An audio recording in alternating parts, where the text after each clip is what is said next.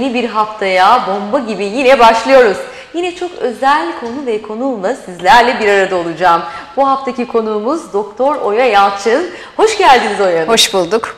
Evet haftaya güçlü bir şekilde girdik. Güçlü enerjilerle girdik. Evet, bereketli enerjilerle, Öyle şakır Yoğun şakır yağmur var. altında. Çok güzel. Ee, tabii merak ettiğiniz tüm sorular e, hocamıza danışabileceksiniz. Telefon numaralarımız şu an ekranda görünüyor sevgili izleyiciler. Her biriniz için acaba neleri doğru yaptık? Hangi konularda yanlış bilgiler aldık? Uzmanından öğreniyor olacağız. Öncelikle Oya Hanım sizi tanıyabilir miyiz? Evet, ben Doktor Oya Yalçın, e, Akdeniz Üniversitesi Tıp Fakültesi mezunuyum. E, ilerleyen zamanda devlette yaklaşık 16 yıllık bir çalışmam var. E, bu 16 yılla beraber bir takım açıkları, eksikleri yaşadıkça, gördükçe, hasta tedavilerinde yetersiz kaldıkça başka neler yapılabilir sorusu Allah tarafından kalbime verildi ve günlük hayatta, hekimliğin yanında akşam eve gelince bir takım araştırmalara giriştim. Gerçekten başka neler yapabiliriz? Çünkü e, yapılan tedavi sistemlerinde de, tanı sistemlerinde de e, ilerlememiz bir yere kadar. Ama e, benim hedefim e, doktor olmakta, insanlara gerçekten şifalandırmak hem de bunu sosyal e, günlük hayatlarında her türlü hem psikolojik hem fiziksel e, bedenlerinde, dünyalarında e, gerçekleştirmekti. Bu hedef tabii kapsamlı bir hedef. Ancak bu, sadece benim hedefim değil. Normalde Dünya Sağlık Örgütü'nün sağlık tanımı da aynı bu şekilde. Sağlık, e, zihinsel, bedensel ve sosyal tam bir iyilik halidir. Aslında bir hekimin bu iyilik halini hedefleyerek e, hastasına yaklaşması gerekir ve bir ölçüde de aslında e, konseptin e, bir öğretmen gibi yani doğruları kişiye verip ha- hasta olarak başvuran kişiye verip onun yaşamında doğru davranışların gelişmesi ve kendini de geliştirmesi yönünde e, mesaj vermek olmalı. Ama tabii e, bugünkü dünya koşullarında sadece Türkiye'de değil yani bugün Avrupa'da da başka yerlerde de e, çok yoğun doktorların durumu ve hastaları bu kadar kapsamlı incelemek, e, destek olmaları çok mümkün olmuyor. Genel modern sağlık sistemi çok hızlı neyin var testlere bakalım hemen ilaç verelim ya da hemen ameliyata alalım şeklinde. O anda durduruyoruz. A- aynen o anda aslında sadece şikayetler dondurulup durduruluyor. E, vücudun imdat çığlığı aslında baskılanmış oluyor. Ee, bunu kötü bir tanımlama olacak ama bu benzetmeyi yapmak zorundayım. Yani bir kanalizasyon sisteminin bir yerden taşıp oraya kum torbalarıyla bastırılıp e, geriye basınçla bir başka yerden taşması gibi. Zaten çok uzun süren hastalıklarda yoğun ilaç kullanımıyla beraber başka şikayetler de ekleniyor. Tansiyonunuz varsa 5-10 sene sonra bakıyorsunuz şeker hastalığı da çıkmış. Onlar varsa bir zaman sonra kalp hastalığı çıkmış. İşte e, bu şekilde sistemi doldurmamak adına e, vücudun imdat çığlığının mutlaka değerlendirilmesi lazım. Bastırmak yerine. Çünkü evet bugün başımız ağrıyor aldık bir ağrı kesici. Fakat kişinin de doktorun da buna şu şekilde bakması lazım. Acaba neden ağrıdı? Evet. Yani bu acaba neden ağrıdığıyla ilgilendiğimiz zaman ve bir dedek- dedektif titizliğiyle arka planda neler vardı? Vücut bu çığlığı, bu sinyali bize niye verdi? Ee, geçiştirmek yerine. Aynı şey mesela öksürük içinde. Ne yapıyoruz biz? Ee, e, aldığımız eğitim böyle. Çoğu zaman işe de yarıyor. Fakat kalıcı bir iyilik için yani biraz belki bir idealist e, bir e, yaklaşımdan bahsediyorum ama sonuçta 21. yüzyıldayız. İyinin iyisinin peşinde koşmak zorundayız. Teknoloji de buna zaten yardım ediyor. E, olanaklar var yani bu söylediğim şey bir hayalden bahsetmiyorum. Ben şu an böyle bir hekimlik yapıyorum zaten. Ee, bu sinyalin peşinde koşmalıyız. Bu baş ağrısının sebebi ne oldu?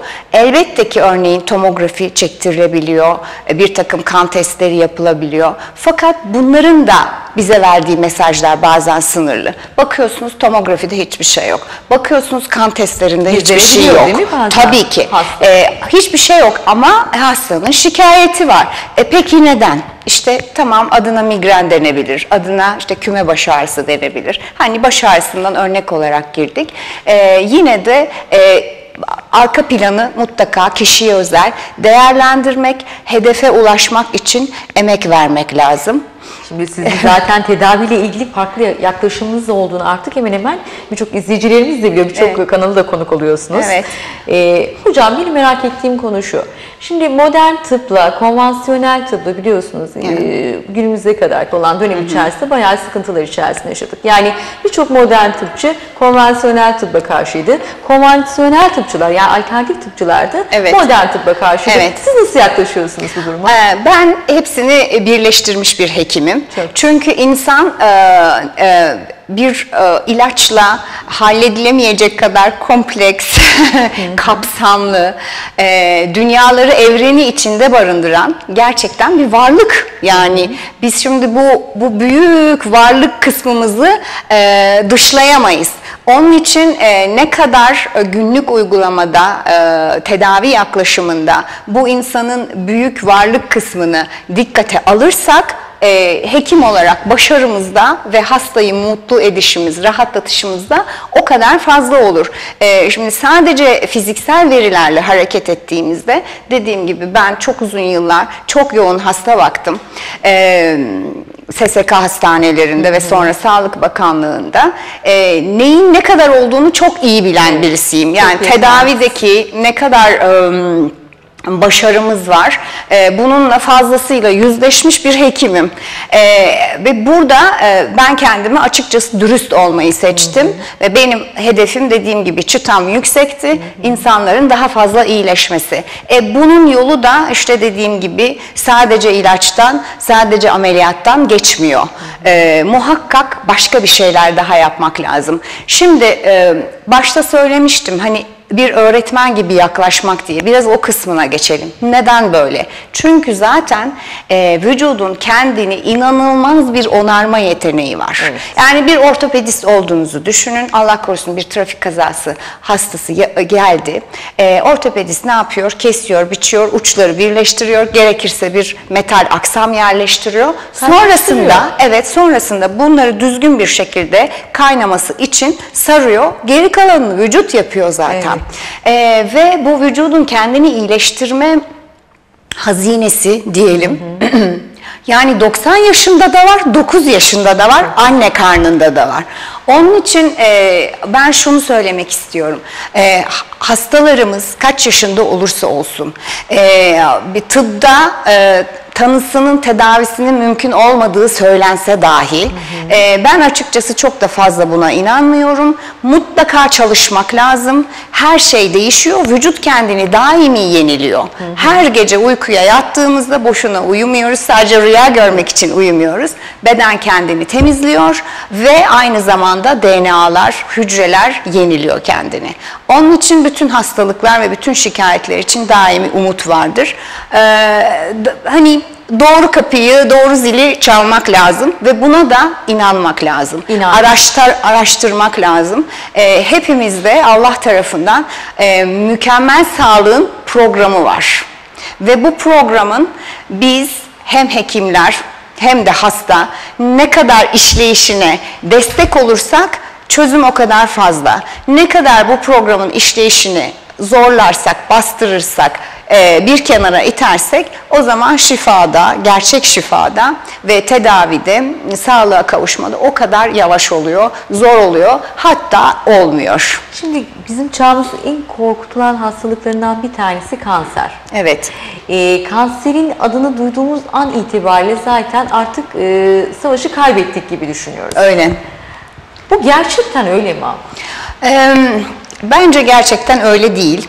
Kanser de aynı diğer hastalıklar gibi, yani basit bir üst solunum yolu enfeksiyonu gibi, e, ne bileyim basit bir kabızlık gibi bir çeşit vücudun dediğim gibi bir imdat çığlığı.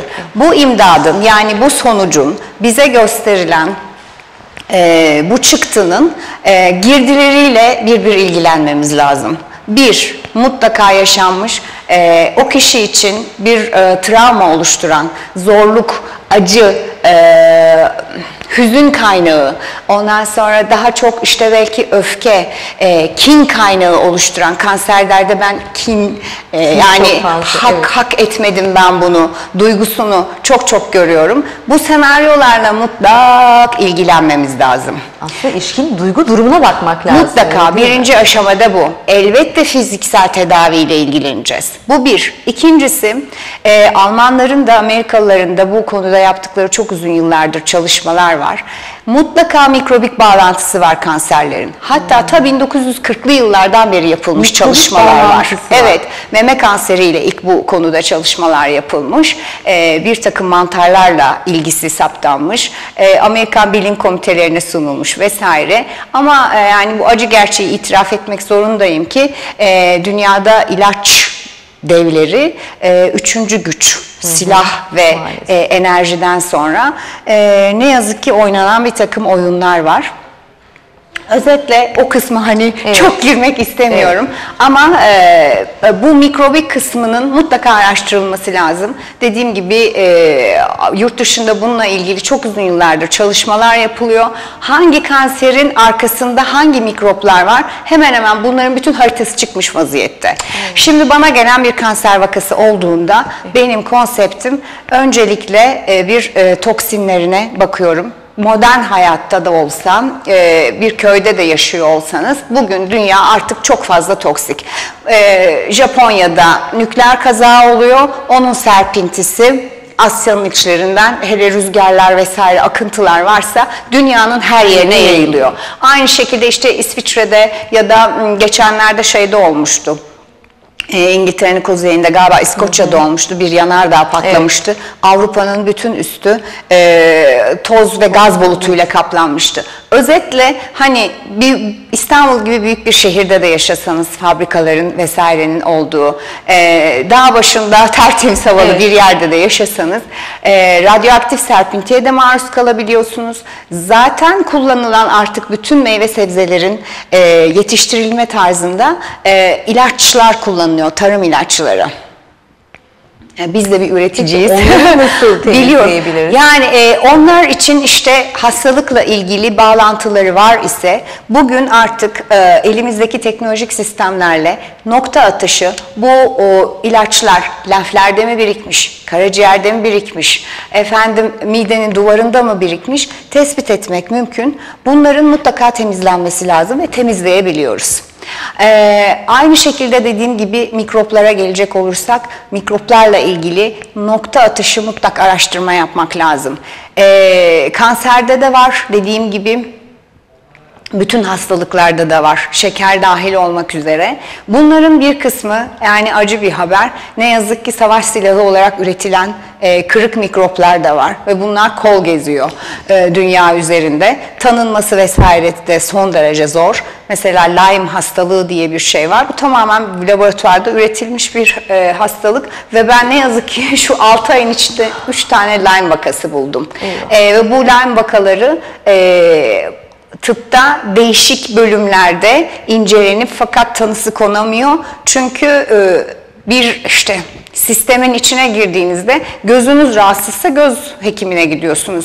Beliniz rahatsızsa e, fizik tedaviye gidiyorsunuz. Evet belde belki fıtık görünüyor ama onun arka planında bambaşka bir şey var. E, hasta mesela şeker hastası olmuş, dahiliyede takip ediliyor ama e, mikrobik altyapı var. O ilerledikçe ilerledikçe bütün sistemi yavaş yavaş çökertip ele geçiriyor.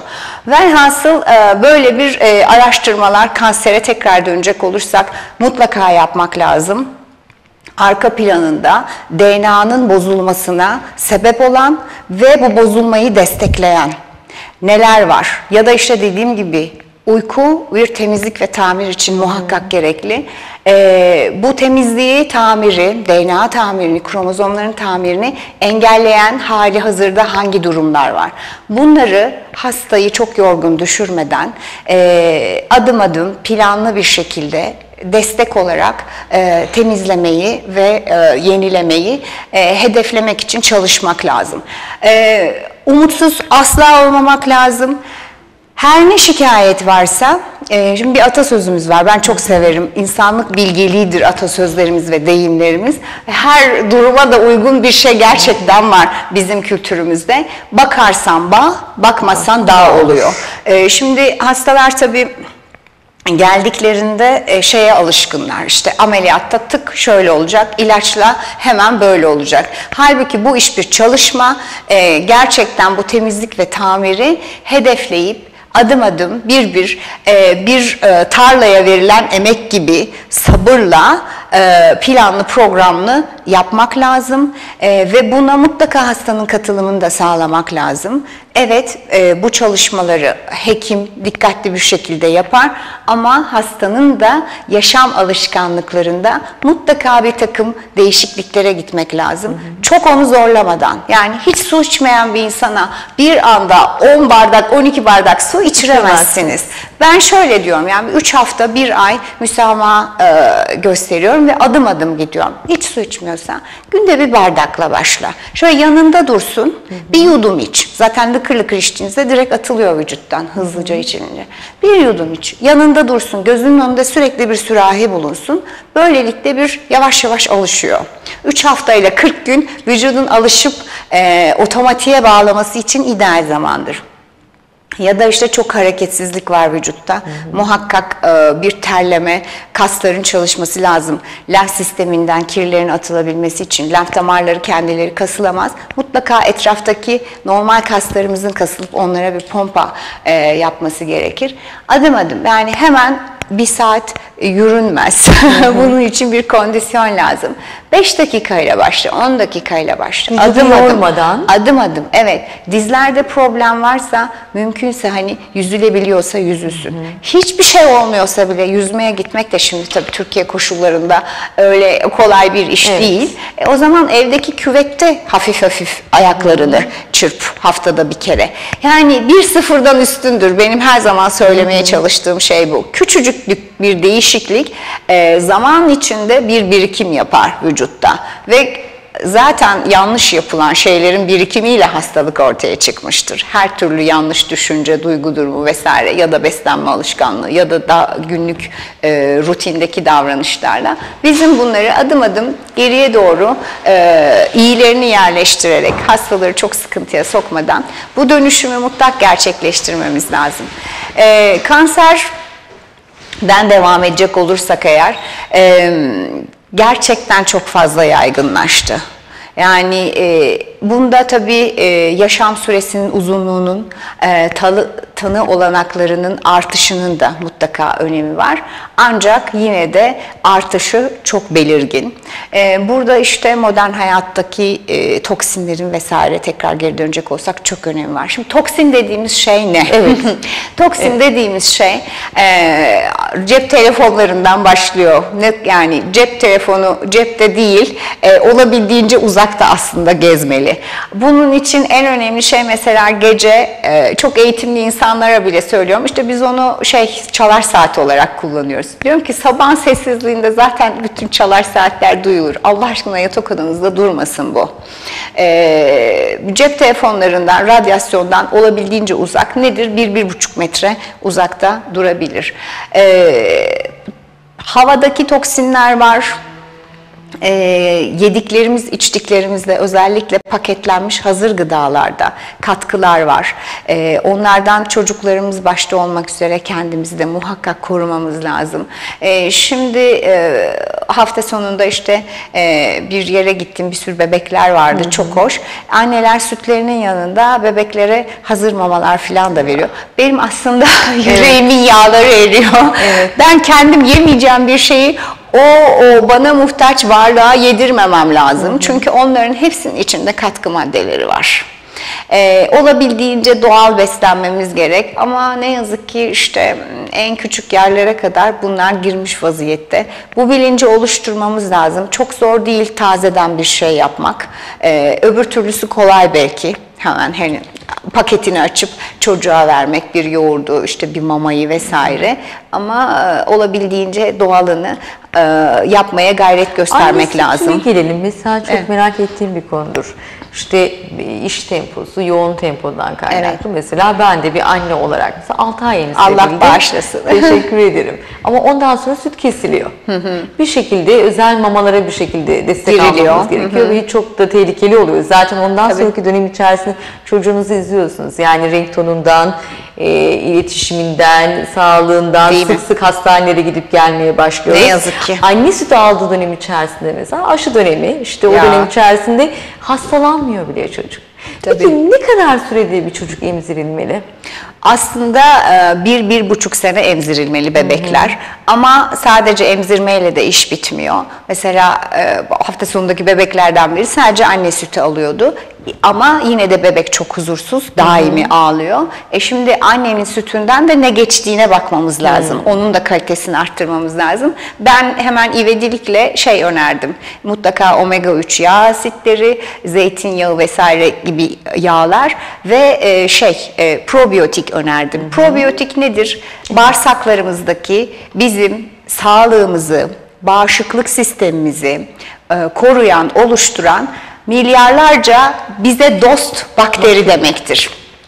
Şimdi probiyotikli bir takım ürünler var ama onların içindeki probiyotik oranı hani bir toz zerresi kadar. eyvah. Almanızla almamanız arasında çok bir fark olmuyor. Hele ki içerisindeki katkılardan ötürü ben çok çok önermiyorum. Ama piyasada e, ge- gerçekten iyi bir şekilde oluşturulmuş, çok yüksek oranda hem e, bu bakterilerin besinlerini de içeren yani pire ve probiyotik diyoruz biz bunlara. İkisinin bir arada olduğu ürünler var.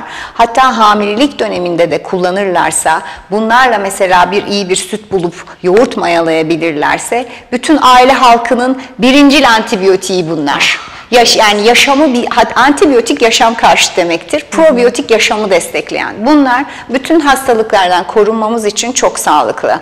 Bebek anne karnındayken de sağlıklı, süt emzirirken de öyle. Ee, şimdi yağlar meselesine gelecek olursak yeni doğan bir bebek en önemli şey fiziksel büyümesi her ne yerse yesin mümkün oluyor. Mama da yese bilmem hatta mama yiyen çocuklar böyle aşırı Evet. derecede iri.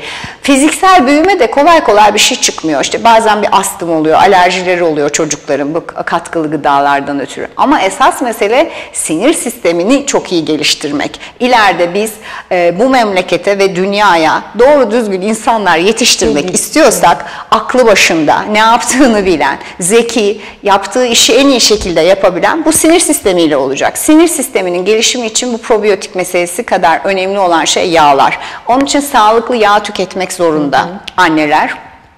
Omega 3 içeren yağ ürünleri mutlaka ben tavsiye ediyorum. Keten tohumu yağını bir gün, bir gün balık yağı dönüşümlü olarak mutlaka kullanmaları lazım.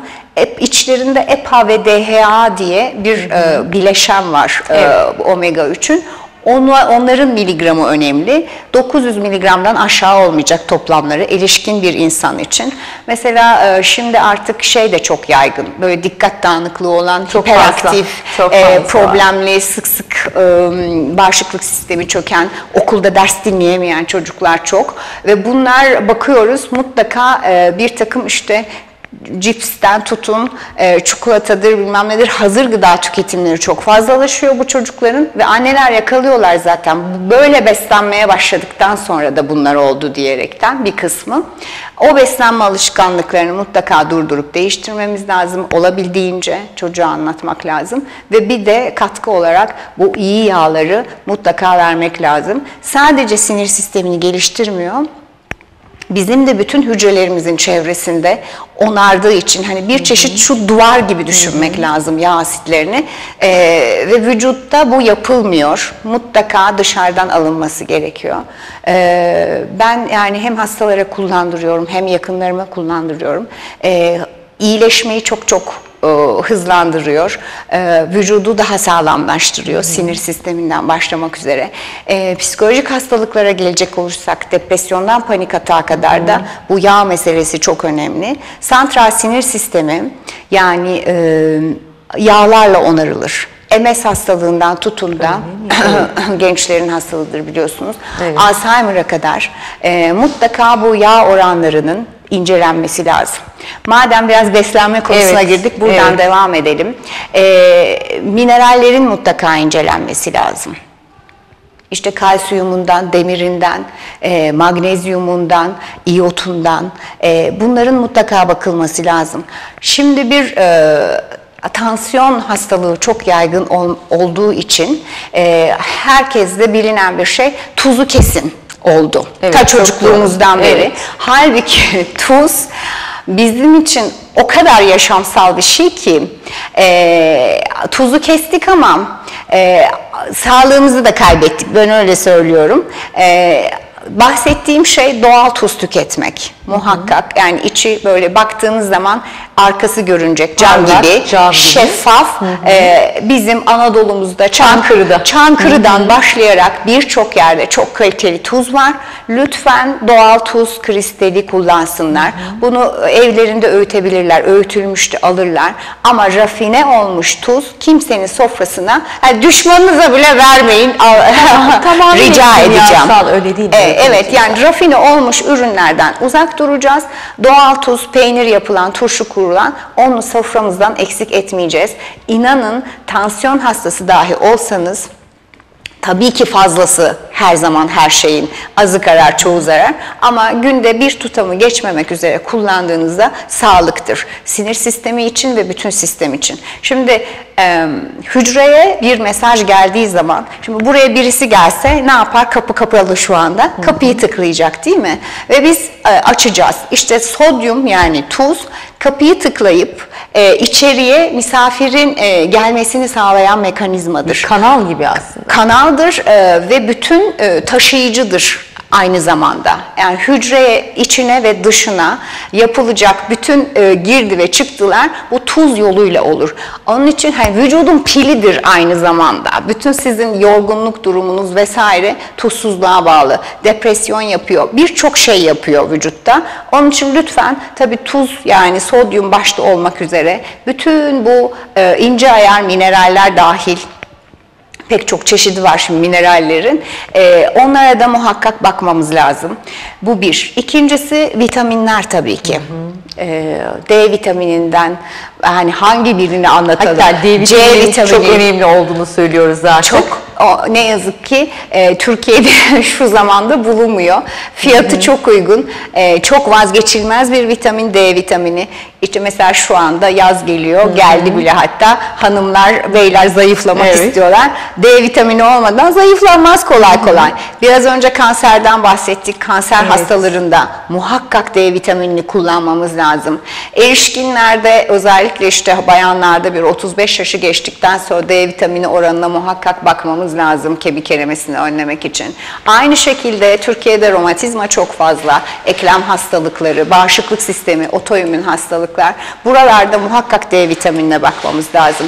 Sağlıklı saçlar, tırnaklar her zaman bayanların ve erkeklerin artık modern hayatta dikkat ettiği unsur. Mutlaka D vitaminine bakmamız lazım. Ee, özetle D vitamini e, de dahil olmak üzere e, bütün vitamin ve minerallerin değerlendirilmesi lazım. C vitamini, B vitaminleri, kanserde mesela K vitaminleri. K vitamini. K vitamini çok fazla bilmiyoruz aslında. Evet bilmiyoruz. K vitamini niçin bilinmiyor? Çünkü normalde vücudumuz bunu üretir. Nerede üretir? Bağırsaklarımızda. Bunu kim üretir? Devin probiyotik dediğim e, bizim için yararlı Bakteri. bakteriler, canlılar üretir. B vitaminleri eksikliği çok fazla. Bunları yine kim üretir? Bağırsaklarımızdaki yararlı bakteriler üretir. Peki niçin bizde B, K vitaminleri eksik? Çünkü bu yararlı bakterileri biz varayoa antibiyotik kullanarak e, şuursuzca yok ediyoruz. Onun için lütfen en ufacık bir hastalıktan hemen ilaçlara başvurmayalım. Vücudun kendisini onarmasını destekleyen sistemlere başvuralım. Ee, eskiden mesela ee, annem ben ki çok sağlıklı bir çocuktum. Ee, ama hani en ufacık böyle bir salgın vesaire olduğunda işte kemik suyuna çorba yapardı. Evet. Bu ke- kemik suyunda ne var? Evet. Ee, probiyotik içeriklidir. İşte evlerde turşu kurulurdu. e, doğal tuzlarla kurulan, limon suyuyla, si- doğal sirkelerle kurulan turşular. Bunların hepsi probiyotik. Bu o, küçük farklılıkları hayatımıza sokarsak çok güzel büyük çıktılar elde edeceğiz. Damlaya damlaya nasıl göl oluyorsa tekrar deyimlere ve atasözlerimizi anarak onlara saygıyla geri dönecek olursak damlaya damlaya göl oluyorsa kötü yaptığınız alışkanlıklar da aynı şekilde bu gölü besliyor. İyi yaptıklarınızda ve gerçekten bakıldıkça bağ oluyor. Öyle dediğim gibi bu işleri bir bir adım adım e, beslenmeler, vitaminler, mineraller, bu arka plandaki şeyleri, e, durumları kişiye özel e, mutlaka incelemek lazım. Çünkü ben yaklaşık e, 2015'teyiz. Yani bir 7-8 senedir şu şuna iyi gelir tıbbını bıraktım. Hı hı. Çünkü baktım ki o hani böyle kafama bir Allah odunla vurdu gibi bir şey oldu. Baktım ki o sistem gerçek anlamda çalışmıyor aslında. Ee, bir yere gittiğimizde hep soruyorlar işte doktor olduğunuzu öğrenince şu şikayet var ne yapalım. Şimdi diyorum ki hani rutin cevabıma göre şunları şunları yapabilirsiniz. Ama ben bunu konuşmak istemiyorum. Gerçekten sizin için ne yapmak lazım bunu gelin bir araştıralım ki ben e, laf olsun diye konuşmuş olmayayım. Sizin verileriniz üzerinden detaylı bakalım. Diyeyim ki şunlar eksik, şunlar eksik. Bunları biz bir ay, maksimum üç ay kullanalım. Ya da e, bunlar fazla, o zaman bunları değiştirelim. Madem yeri geldi şimdi bu parantezi de açmak istiyorum. Kişiye özel. Kişiye özel. Beslenme alışkanlıklarını da aynı şekilde değiştirmek lazım. E, gıda duyarlılıkları ve alerjiler bu arka plan senaryoda bütün hastalıkları kanserden tutun alerjiye işte şeker hastalığına, e, tiroid problemlerine, mide ülserine birçok şeyi besleyen ana kaynaklardan bir tanesi. Bu tabi derya deniz bir konu bu beslenme konusu. Onun için rutin gidip de işte kilo vereceğim, e, kalori hesabı yapayım, yok işte şunları şunları yiyeceğim, bunları bunları çıkaracağım.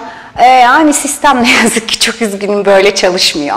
Hayat öyle reçetelerle hallolmuyor. Yani hallolsa zaten hem hekimlerin hem de günlük hayatta yaşarken bizlerin işi çok iyi, çok kolay olurdu. Şunu şöyle yap tamam o yoldan bitsin. Evet bir ana doğrular var ama mutlaka kişiye özel çözümler de var.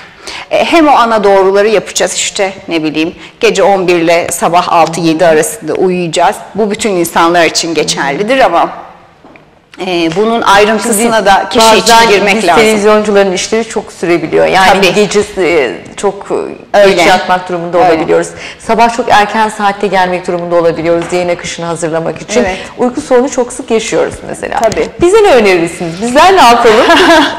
Valla biyoritmi olabildiğince tabii tutturmak, yaşamak e, aslında idealidir. E, işinizi değiştirin diyemeyeceğim ama e, rutinden çok kopmamaya gayret etmek lazım açıkçası. E, tabii işte hemşireler, doktorlar, e, polisler, e, gece çalışan güvenlik görevlileri, e, başka gece çalışan grup gerçekten aslında risk altında. Gündüz uykusuyla gece uykusu bir değil. Evet. Ee, hani bazı insanlar kaydırıyor. Ben dörde beşe kadar oturuyorum. Bu gecenin sessizliğini seviyorum. Yaratıcıyım falan filan. Öğlen 12'ye kadar uyuyor. E, o orada ilerleyen zamanda mutlaka problem çıkar. Çünkü evet 8 saat 10 saat uyusanız bile e, bizim binlerce mil, e, yıllık e, şeyimiz programımız bu değil. Çünkü e, biz e, bu betonların arasında modern hayatta hiç fark etmiyor da olsak güneşle, ayla, bütün gezegenlerle bu da nacizane sizin konunuz Evet. e, hala e, müthiş bir e, diyalog halindeyiz. Evet, İnsanoğlu e, aldığı gibi işte televizyon seyrediyorlar. Mesela şu an bizden mesajları alıyorlar. Şunu da lütfen fark etsin herkes. Biz aynı zamanda bir anteniz alıcıyız ama veriyoruz da. Yani bizim de dünyaya yayınımız var. Onun için bu alışverişi e, yaparken ne kadar farkında olursak ne yaptığımızın, ne düşündüğümüzün, ne konuştuğumuzun, nasıl yaşadığımızın o zaman işler daha kolay olur. E, bir, bir defa ee, bütün herkes yani hekim de dahil olmak üzere e, bir kişi için ancak yardımcıdır. E, ana senaryonun yazarı her zaman insanın kendisidir. Ee, bir hani araba e, şeyiyle e, örneğiyle gidelim. E, şoför sizsiniz, direksiyon koltuğunda siz varsınız. E, neyi bırakıp neye devam edeceğinize her an her saniye siz karar veriyorsunuz. Lütfen bunun bilincinde olalım. Hani ben böyleyim, öyle bir şey yok. öyle bir şey yok. Onun için e, nerede olacağız, kiminle arkadaşlık edeceğiz, e, neler düşüneceğiz, nasıl yaşayacağız, ne zaman uyuyacağız, ne yiyip ne içeceğiz. Bunların hepsi size bağlı şeyler. Sizin isteklerinizle, e, sizin kararınızla farkında olun olmayın. Her dakika. Bu, bu, şekilde oluyor. Ben bugün bu kıyafeti giyip buraya gelmeyi karar verdim Evet. ve burada oldum. Evet. Ama e, bu programı e, yapmayıp e, rutin işime gidip başka bir hayat deneyimi de yaşıyor olabilirdim. Özetle e, bunların farkındalığına varmak lazım. E, yemek meselesine tekrar dönecek olursak böyle bir açılıp tekrar e, şey yapıyoruz. E, size dokunan şeyleri o süreç içinde yemediğinizde yani bir gıda duyarlılığı teşhis edildiğinde en çok günümüzde yaygın olan e, unlu ürünler ve süt. Sütlü ürünler. Süt. Evet, Türkiye'de çok yaygın ikisine de alerji. Ama bunun dışında hiç beklenmedik şeylere de alerjiler çıkabiliyor. İşte e, marulundan patatesine, e, baklasından kabak çekirdeğine kadar e, onlara mutlaka bir bakılması lazım. Çünkü e, bunlar da hastalığın e, artmasını, devamını bu duyarlılıklar, alerjiler vücutta bağışıklık sistemini meşgul ederek e, destek oluyorlar. Yani o çıban başını zonklatan e, şeylerden bir tanesi. Mesela alerjik olabiliyor bünye. Öyle değil? Evet. Misal ben işte gittim domatese alerjim var. Evet. Domates yediğimiz zaman tüm vücudum kabarıyordu. İşte bir kan tahlili yaptılar. Çok Çıkan sonuçlar dediler ki domates yemeyeceksiniz. Evet. Ama ömrü boyunca değil. Hayır. Çok az. Ara sıra Evet. böyle e, o da pişirilmiş bir şekilde izin veriliyor ama Evet. çiğ olarak yine yiyemiyorum. Evet. Çok hafif bir şekilde ara sıra yiyebiliyorum ama düzenli bir şekilde mesela canım her çektiği zaman domates yiyemiyorum. Bunu da kan tahlilinden çıkarttılar. O tahlilden sonra benim vücudumdaki kabarıklıklar azaldı mesela. Güzel. Ee, şimdi bir- ben e, kan tahlili yapmıyorum. Daha hassas bir elektromanyetik ölçümle yapıyorum bu işleri. Ee, belli mesela oranın altındakiler e, uzun zamandır alerji olarak çıkıyor. Ee, 100-120 belli oranın üzerindekiler de yeni gıda duyarlılığı alerji olarak çıkıyor. Benim yaklaşımımda 3 haftayla maksimum en fazla 2 aya kadar bir uzak kalma süreci. Bu süreçte de e, kişi muhakkak gelip e, tedavi edici sinyallerle bu alerjinin zemininin temizlenmesi lazım. Çok güzel. E, fakat şöyle bir şey var. Şimdi tabii mutlaka bunun psikolojisi alerji meselesinin ve her şeyde Evet. olduğu gibi şişmanlıkta olduğu gibi Bütünsel yaklaşım, öyle değil mi Bunun aslında? mutlaka o psikolojik kısmının e, temizlenmesi lazım. O olmadan kalıcı sağlık mümkün değil olmuyor. Alerjideki mesela yaygın psikoloji şudur ama sizdeki, bendeki, Ahmet'teki, Mehmet'teki farklı. Ama hani yine nedir denecek Nedir, olursa evet.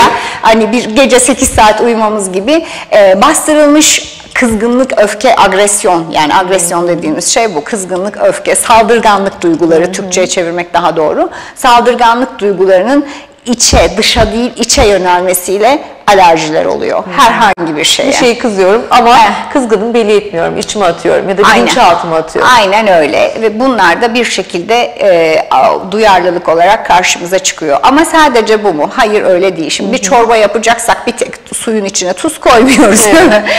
Türlü çeşit malzeme koyuyoruz. Vücudumuz içinde bir hastalığın ortaya çıkması, bir çorbanın bir ürün olarak, yemek olarak yanımıza gelmesi için birçok faktör var. Psikolojik kısmı bu. Ee, tabii ki e, domates de dahil olmak üzere bugün yetiştirilen bütün ürünlerin çok e, acı ama genetikleriyle oynandı. Burada e, daha önceden de hep birçok yerde bahsettim. Niyet her zaman aslında iyiydi. E, dünyada e, artan nüfusa kaliteli ve daha verimli ürün elde etmekti. E, sonuçta domates bir yaz e, sebzesidir ve senede bir kere ürün, ürün çıkar bir tarladan. Ama biz bugün bakıyoruz ki e, kışında yani yılın 12 ayında bizim eski bildiğimiz e, domatesler dışında sonsuz şekillerde, sonsuz tatlarda yılın 365 günü domates yeniyor. İşte o zaman tabii ki burada e, bizim bu domatesle ilgili soruna bir hani bir mercek altına alacak olursak e, genetiğiyle oynandı. Şimdi genetiğiyle oynanan bir şey e, siz doğalsınız ama doğal olmayan ya da rutin çok uzun yıllardır alışkın olmadığınız bir ürün giriyor vücuda. O zaman onu düşman olarak algılıyor. Hani bu işin tamam psikolojisi var ama bir de fiziksel kısmı var. Giren ürün domates değil düşman. Düşman olunca bizim savunma askerleri harekete, Harekete geçiyor. geçiyor. Şimdi Türkiye'nin sınırları ihlal olduğunda nasıl e, ordumuz harekete geçiyorsa biz de sınırımızı korumaya karar veriyoruz. Hemen e, duyarlılık oluşturuyoruz. Onun için o, özetle e, şeyi de yapmak lazım tabii ki bu ürünleri lütfen zamanında yiyelim E, ve e, doğal domates bulmaya çalışın. E, kolay mı? Kolay değil. Şimdi doğal ürünler satıyorum diye internette biz başladık araştırmaya. kolay mı kolay değil. Ama Ee, nasıl anlayacağız Dedektif e, titizliğiyle. Nasıl anlayacağız? Bir defa e, ben şeyi öneriyorum. Yani çocuklarda belki bu bilgi yok ama biz yaşlarda insanlarda bir çileğin, bir domatesin, bir kavunun nasıl koktuğunu dair biliyoruz. Evet, bilgimiz var. E, mutlaka ben mesela elimi alıp kokluyorum. O benim e, çocukluğumdaki e, mis kokan ürüne benziyor mu bu? Hadi yanıldım. Kokusunu ayarladılar. Kestiğiniz zaman e, dediğim gibi o çekirdekleri vesairesi, nefaseti ürün nasıl çıktı? Ee, biraz emek harcamak lazım aslında artık sağlıklı gıdaya ulaşmak için. İş buna bindi, döndü. Ee, ama e, can her şeyden önemli. Bu artık- yapılacak yani. Artık Çare o. internetten alışveriş yapıyoruz Evet. biliyorsunuz. Evet, görmeden. yani görmeden, koklamadan Evet. bu hızlı Onu da e, tahmin edildiği gibi kalitede bir ürün çıkmadıysa eğer e, o internet sitesinden bir daha alışveriş yapmamak lazım. Organik adı altında evet bazen gerçekten hayal kırıklığı oluyor ama bazen de diyorum ki ya ben yıllardır e, biber yememişim, yumurta yememişim. E, hakikaten e, namusuyla bu işi yapan insanlar da var. Yok değil. E, arayıp bulmak lazım. E, evet başka... Şimdi şöyle bir sorumuz daha Buyurun. var aslında size hocam. Bütünsel yaklaşım sizce nedir? Bu çok konuşulan bir şey, bütünsel yaklaşım. Evet. Şimdi e, bütünsel adı üstünde e, insana bir e, tam bir varlık olarak bakmak. Demin bahsettim. E, ve de Dünya Sağlık Örgütü'nün e, bakışı da bu aslında. Hepimizin hekim olarak, e, sağlık çalışanı olarak bakması gereken e, yöntem de bu. İnsan parçalardan oluş, oluşuyor ama o parçalar bütünle ilgili. Onun için sadece karnınız ağrıyorsa e, bir tek o kısımla ilgilenmek, sadece gözlerinizde bozukluk başladıysa onunla ilgilenmek ya da sadece işte şurada bir kaşıntı var, sivilceleniyorum, yok pullu şeyler var, yaralar var çıktı. Sadece ciltle ilgilenmekle bu işin küçük bir kısmı halloluyor büyük kısım duruyor. İşte o büyük e, resmi görmek için muhakkak bütün olarak bakmak lazım. E, tabii bu bir e, yani dünya çapında yeniden bir formasyonu gerektiriyor. E, Modern tıpta hani konsültasyonlar yapılır. Bir hastanın işte geldi bayılan birisi diyelim. E, nörolojide bakar, dahiliye bakar, bir cerrahi bakar. E, bu bir bir miktar yapılır. Ama belki bunun daha fazlalaştırılması lazım.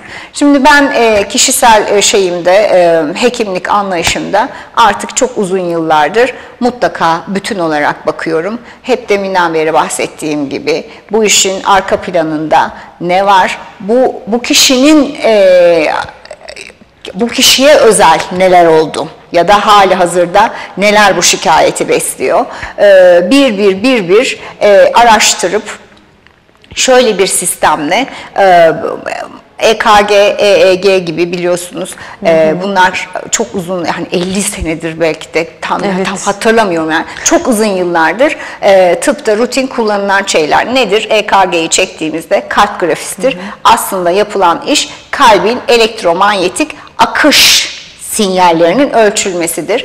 E, geçen yüzyılda e, bilim adamları bu işi sadece kalp, sadece beyin, sadece kaslar için EMG vardır bir de e, kas grafisi. Onlar için değil, tüm vücut için bu elektromanyetik akışın ölçümünü yapmışlar ve yaptılar hali hazırda.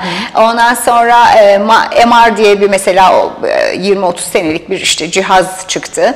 E, nedir bu? O, aynı şeye girerek, titreşime girerek görüntü alma, vücutla aynı frekansa girerek, rezonans demek şey o aynı titreşime Titreşim, girip evet. bilgi alma demektir.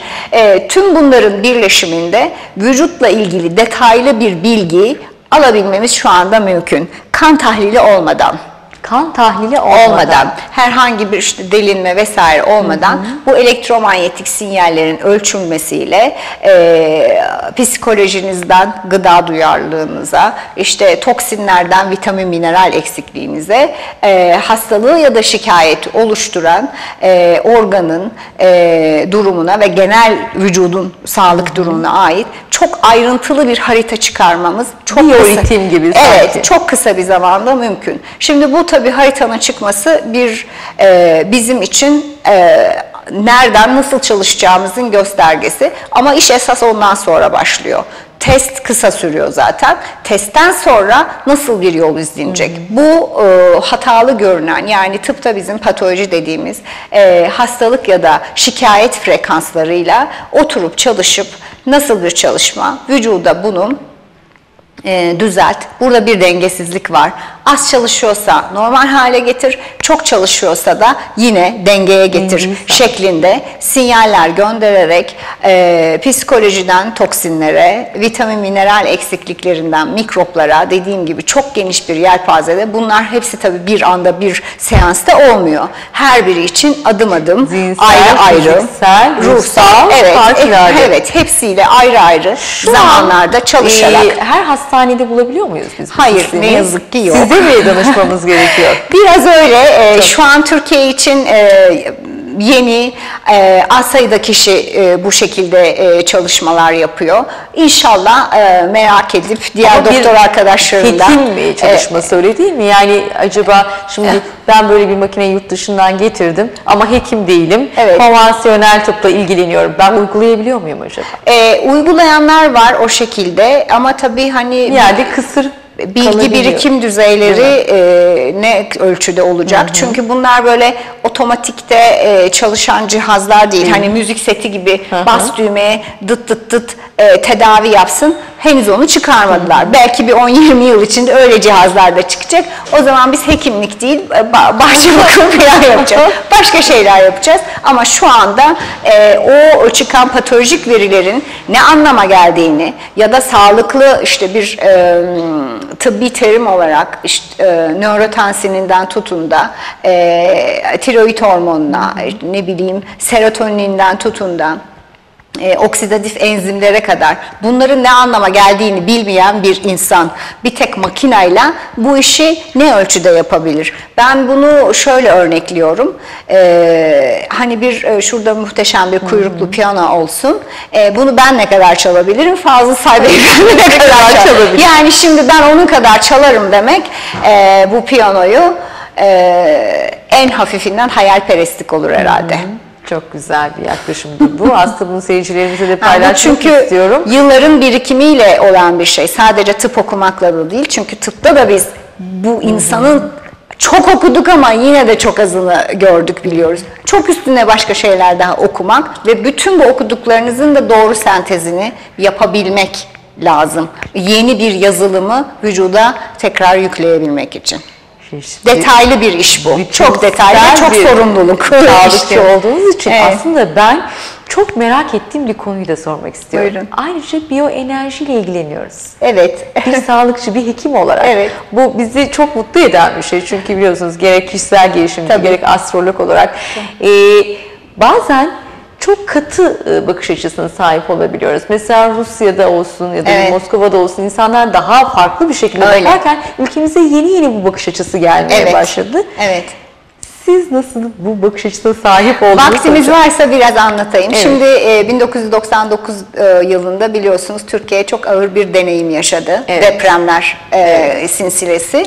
E, o depremlerde e, biz e, Yalova'daki yazlık evimizi kaybettik. Ve 25 yıllık komşularımızı da aynı şekilde kaybettik. E, ben o sırada e, yoğun bir şekilde ders çalışıyordum. E, sınava girecektim. E, ve e, annemlere söyledim ki hani şeye gelemeyeceğiz. Hmm, Yalova'ya e, gelemeyeceğim ben. Onlar da son anda gelmekten vazgeçtiler ve canları ikisinin de 18 günle kurtuldu. Özetle tabii bu benim için çok travmatik bir deneyim oldu. Ben o zaman SSK'da hekimim ve biz e, bu depremle beraber hani acı kayıplarımızdan sonra da oralara gidip hekim olarak çalıştık. Bir de böyle bir 6 aylık e, o acıyı paylaştık. E, o zaman zaten hem yaptığım işte dediğim gibi nereden nereye geliyoruz, verimliliğimiz, başarı oranımız nedir, e, yeterli bulmuyorum diye ben akşam eve gelip mutsuz oluyordum. Bu, bu büyük soru işaretini bende daha da arttırdı. Dedim ki bir dakika tamam ben her gün okuyorum, çalışıyorum, en yeni bilgileri öğreniyorum ve insanlara en iyi ilaçları yazıyorum. Hani e, elimden geleni yapıyorum hekim olarak o yoğunluğun içinde ama yetmiyor. Ve sistem olarak da yeterli değil. Böyle bir felakette ne yapacağız? Ee, rutinde de ne yapacağız? Ee, aramız var galiba. Evet sevgili izleyiciler merak içerisinde olduğunuzu biliyorum. Devam edeceğiz kısa bir aradan sonra tekrar birlikteyiz.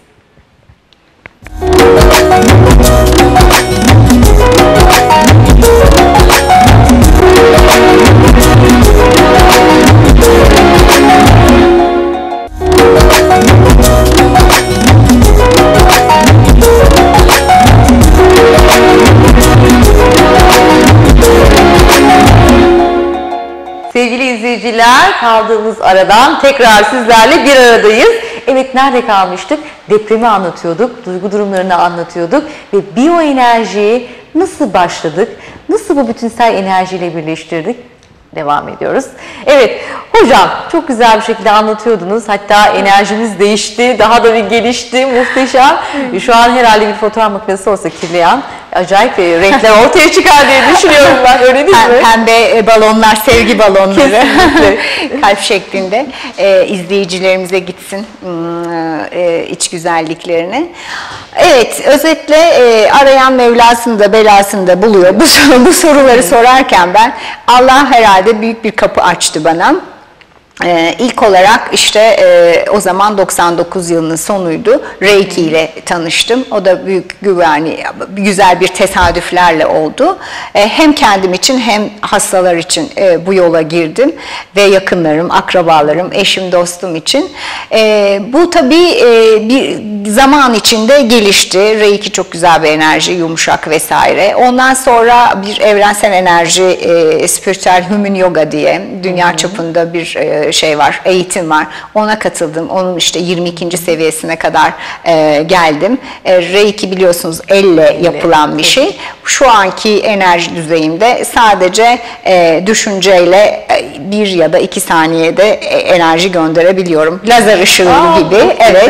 E, yakınımlarında, yakınımda olan kişiye de Amerika'da olan arkadaşımıza da yollamak mümkün. E, Bunu şifa için tabii ki kalplerine e, koşulsuz sevgi, kabul, şey huzur ve uyumun kesinlikle öyle. Orada başlıyor. Ondan sonra maddeye tezahür ediyor. Evren de öyle zaten. Yani kuantum denen şey de o. Önce e, enerji var, sonra maddeye dönüyor ve bu dönüşüm e, daimi bir sirkülasyon halinde. E, bizim etrafımızda, kuantum evren uzak bir yerde değil, hücrelerimizin içinde, atomlarımızın içinde, e, nötronlarla protonlar arasında ve aynı zamanda evrende de aynı şekilde insan küçük bir evren. Bunun üzerinde tabii epey bir yaklaşık işte 15-16 yıldır birçok çeşitli deneyimler, çalışmalar yaptım. Dünyanın birçok yerine işte Rusya'sı, Azerbaycan'ı, Mısır'ı, Amerika'sı İsrail'i, e, Macaristan'ı vesairesi gidip e, hepsi e, daha iyi nasıl olabilir, daha fazla ne verebilirim, e, gerçek kalıcı e, sağlık için başka ne mümkün? sorusuyla, motivasyonuyla oldu. Önce tabii ki e, insanın kendisinin temizlenmesi lazım. E, sonuçta e, ünlü ozanımızın bir e, şeyi geldi aklıma. Kalpten kalbe öyle bir yol var ki görünmez diye. E, bizim yaptığımız işin e, gerçek bir icrayı sanat. Bu sanat bu önce sevgi ve e, şefkatle ve bu şifaya niyet ederek e, başlamak lazım. Ve e, hani soğuk bir hasta doktor ilişkisinden mesafeli şeyden ziyade gerçekten ondaki hayırlı dönüşüme niyet ederek ben her zaman başlarım. Ee, bazen söylerim hastalara böyle böyle düşünün siz de diye. Siz de niyet edin. Ee, tam olmuş haliyle kendinizi olumsuz ifade etmeyin. Çünkü e, hiç farkında değiliz. E, çok istediğimiz bir şey bile inşallah şöyle işte mesela inşallah fırtına çıkmaz. İnşallah e, yolda kalmayız. Böyle halbuki bunu bu şekilde söylemek yerine inşallah yolumuz açık olur. E, sağ salim mutlulukla keyifle gideriz şeklinde ifade etmek lazım. Ee, böyle böyle ufak ufak insanlarda gördüğüm şeyleri zaten değişim anda olan bir şey. Yani yüzyıllarca uzun uzun çalışmak gerekmiyor. Onu orada böyle yakalayıp kişilerde çok da hoşlarına gidiyor ee, ve bir farkındalık, bir pencere açılmış oluyor. Ee, bunu bu şekilde yapıyorum. Bu enerji meselesi de öyle. Hani e, zaten işte İslamiyet'te de bilinir yer gök dua üzerine kurulu diye. Bunu bir e, dua niyeti olarak düşünüyorum ben. Ee, iyi niyet ve sevginin, e, koşulsuz sevginin tezahür etmesi, huzurun, uyumun, bütünlüğün. İnşallah bu herkesin kalbinde de nasip olur hem de ülkemiz ve dünya içinde olur.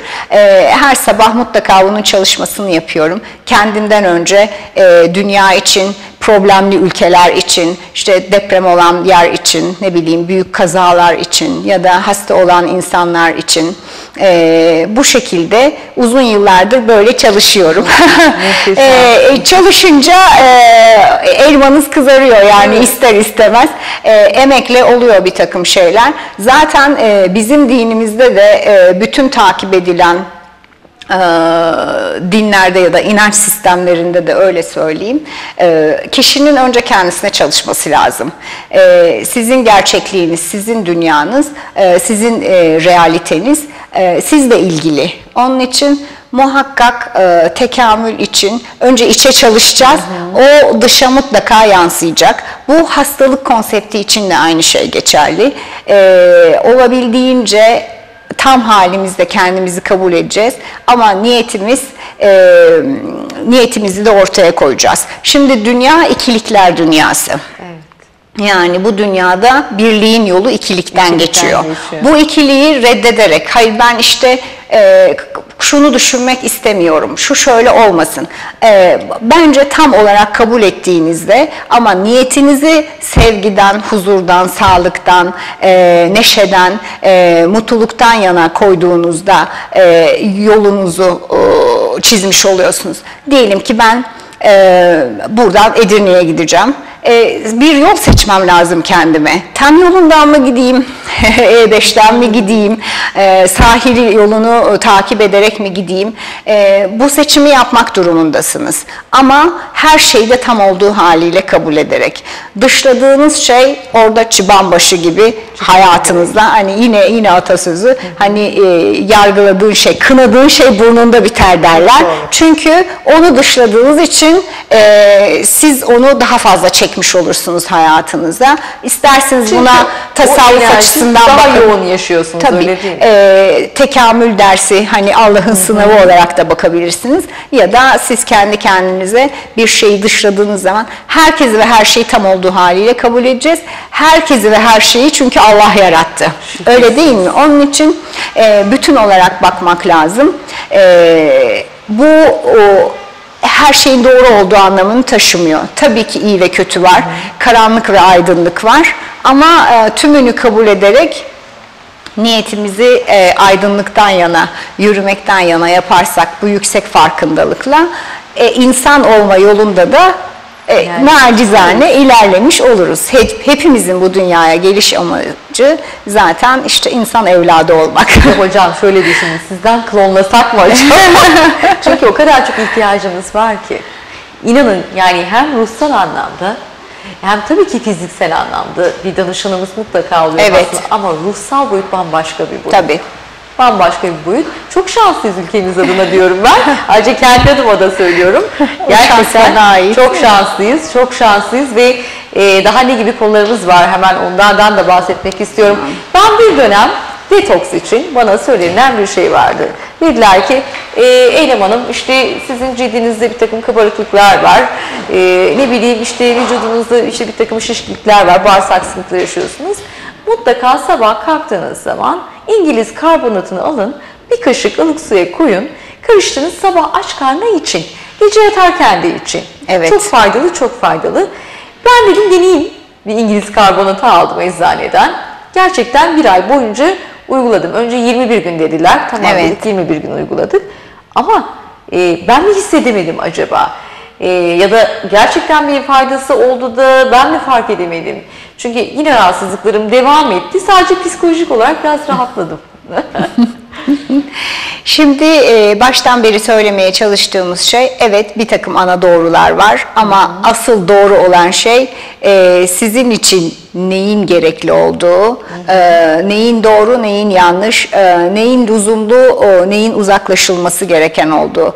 E, bu çalışmayı yaparak ee, eğer tespit edilmişse bir biyokimyasal dengesizlik o zaman ben e, bir takım ürünler kullandırıyorum E, ama mutlaka takip ederek. Şimdi e, takipsiz ve sebepsiz işte televizyondan ya da başka kaynaklardan işte şu zamanda 3 gün 5 gün şunları şunları yapın Ee, bakıyorum ben yani e, işte çok ağır mesela kanser hastası da yapmaya kalkıyor şeker hastası yapmaya kalkıyor bilmem ne böyle e, genel mesajlar vermek e, bence e, doğru değil.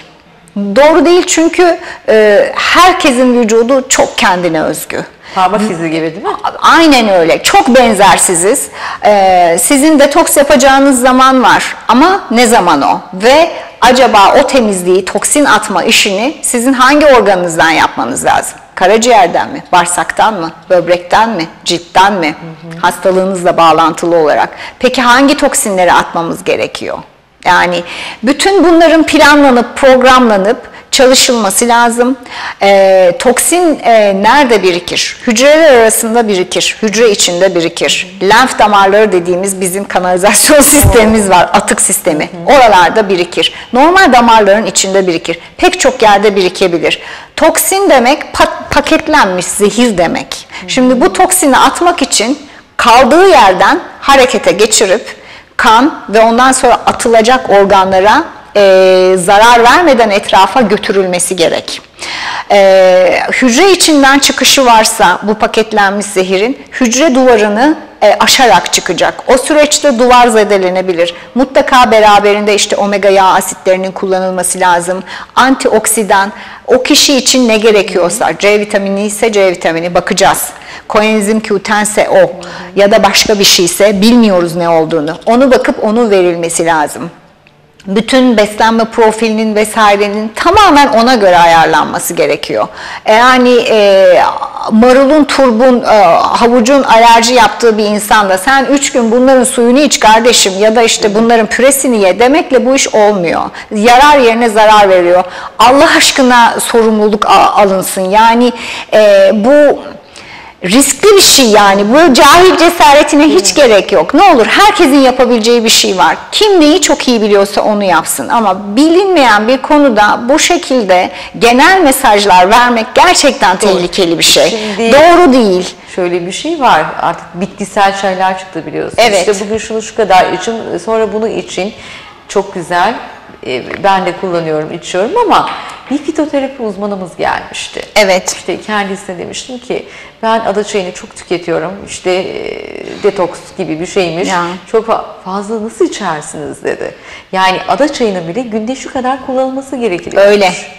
Öyle. E, düşünün bazı hastalıklarımız var. İşte bir tansiyon hastasının kullandığı ilaç Kesinlikle. var. Onunla o nasıl bir etkileşim halinde? Birbirleriyle çatışmaları olabiliyor. Ee, hazırlanmalarının iyi bilinmesi lazım. Bir de mesela hmm, işte bu birçok sebepten ötürü artık hanımların hormonları çok oynar oldu. Ada çayından örnek verecek olursak ada çayı vücutta doğal östrojen sağlayan, e, dengeleyen, işte adet dönemlerinin ağrısız, sıkıntısız geçmesini sağlayan çok güzel bir ürün. Aynı zamanda akciğerlerde e, temizlik de yapar.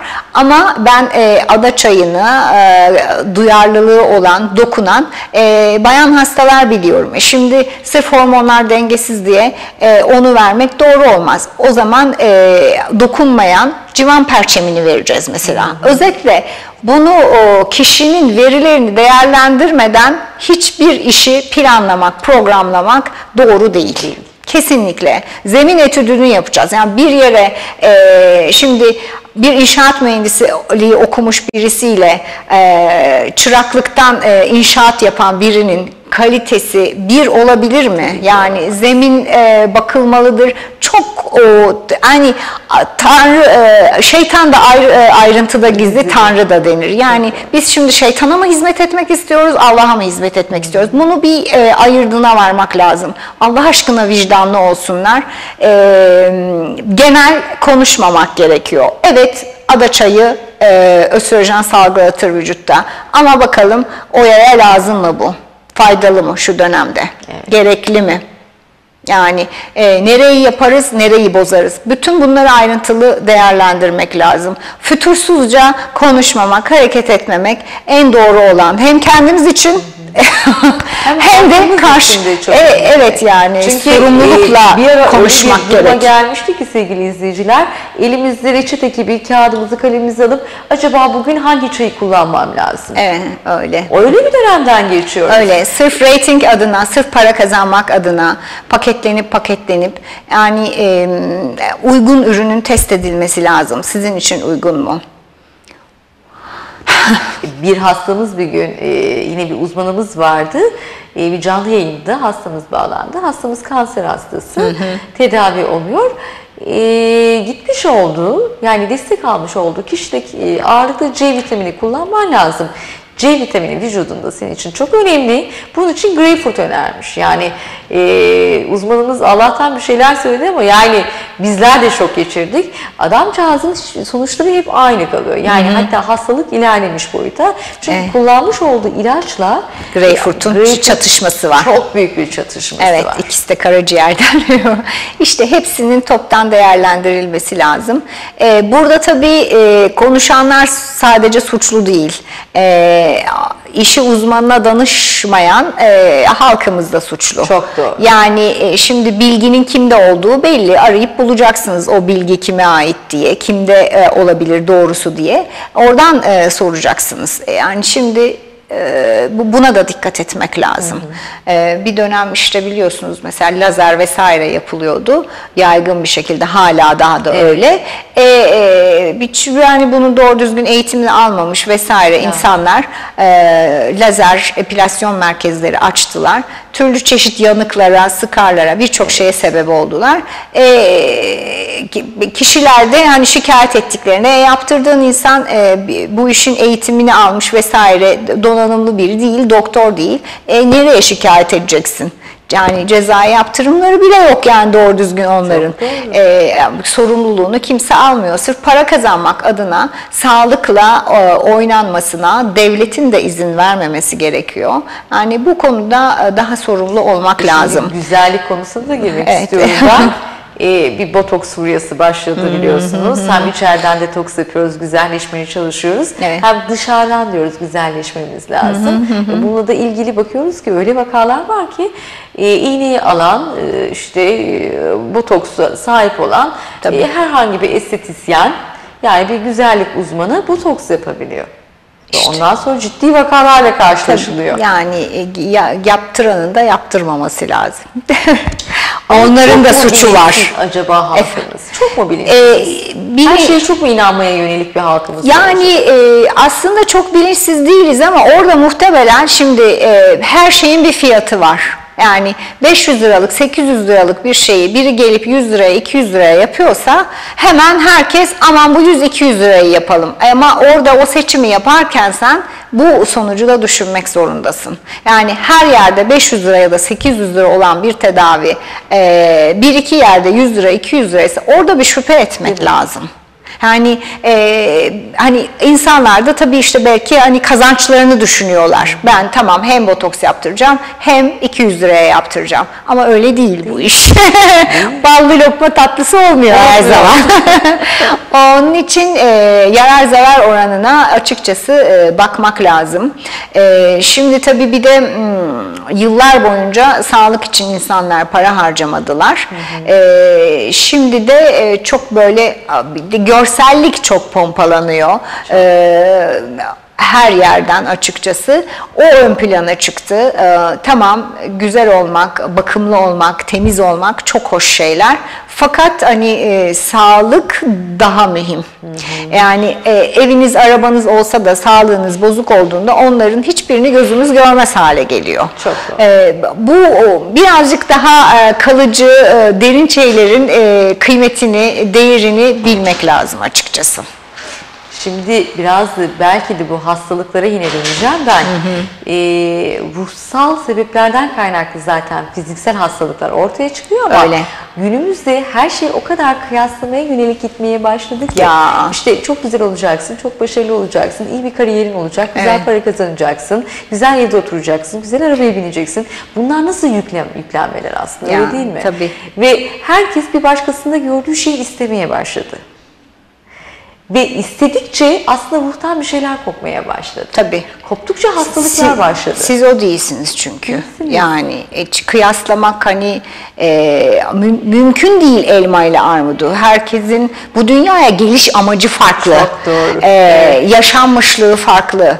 E, doğduğun aileden tut, aldığın eğitimlerden tut. Hepsi hepsi hepsi farklı şeyler. Ve, ve tabii ki e, ortalama bir e, kriterler olabilir ama herkes bence e, yaşadığı şartlarda mutlu olabilir. Mutluluk dış şartlara ait bir şey değil. Sadece nefes aldığımız için dahi mutlu olmalıyız.